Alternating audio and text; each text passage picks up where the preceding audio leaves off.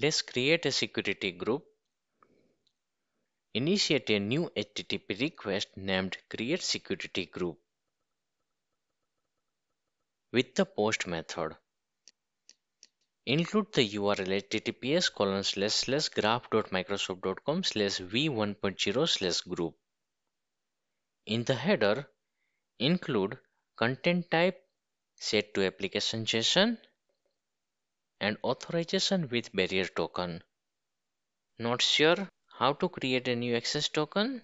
Watch the video title How to generate access token in Azure Entra ID using the Graph API linked in the video description below.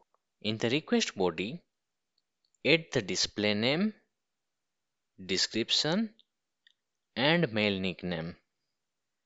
Since we are creating a security group, set mail enable to false and security enable to true.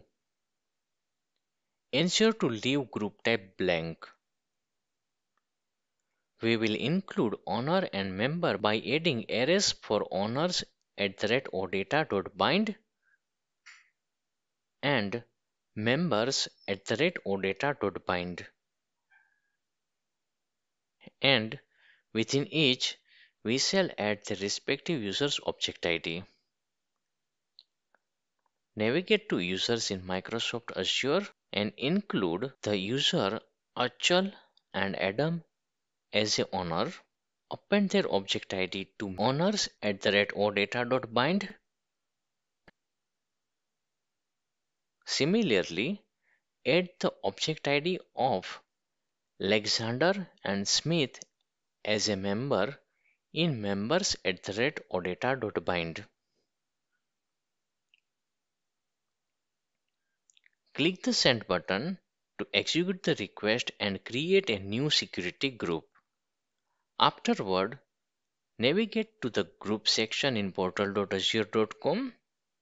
This time, you will observe that the security group has been successfully created without an email address and is specifically designated as a security group.